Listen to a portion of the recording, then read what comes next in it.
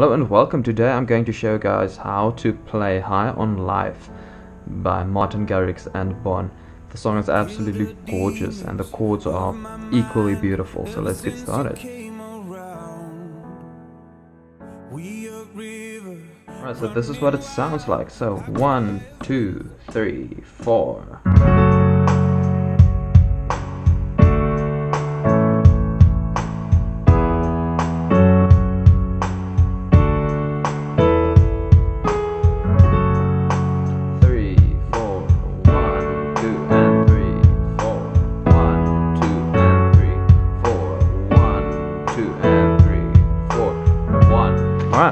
Alright, so let me show you guys the chords I'm playing. So we start off with F sharp minor, which is the key of High on Life. So it's a first inversion chord, alright? So first inversion chord is when you take the first note, put it at the top, and then you have a first inversion chord, alright?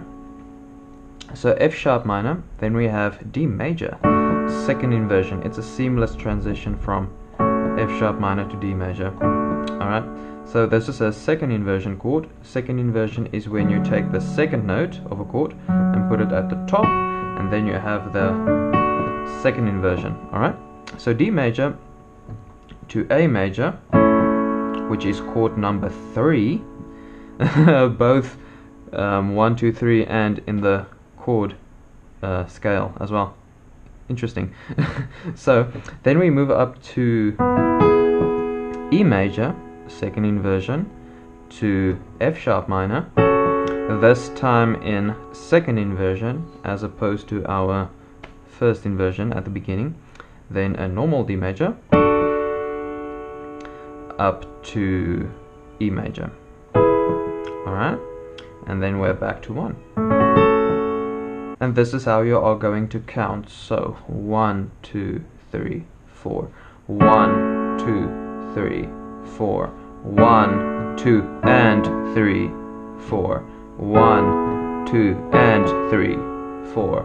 One two and three four. All right so a lot of ands. Let's check that again. So one two three four.